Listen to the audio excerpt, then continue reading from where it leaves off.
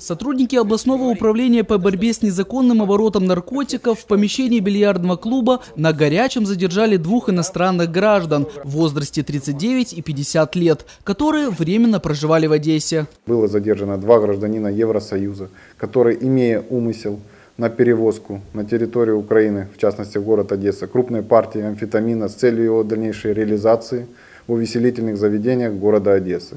В сумке правонарушителей было обнаружено и изъято два полиэтиленовых пакета с белым порошкообразным веществом. По словам самих задержанных, изъятый у них амфетамин привезен из-за границы к открытию летнего клубного сезона в Одессе. Что в пакете находится?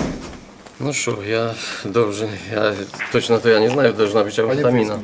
Амфетамин должен быть, да? Да. Сколько здесь амфетамина в одном пакете? Я не знаю, должно быть 100. 100 чего, грамм? Да. Изъято более трех тысяч доз психотропного вещества на сумму 300 тысяч гривен по ценам черного рынка. Правонарушителям грозит от 5 до 8 лет лишения свободы. Продолжается досудебное следствие. Максим Шпат, Новая Одесса.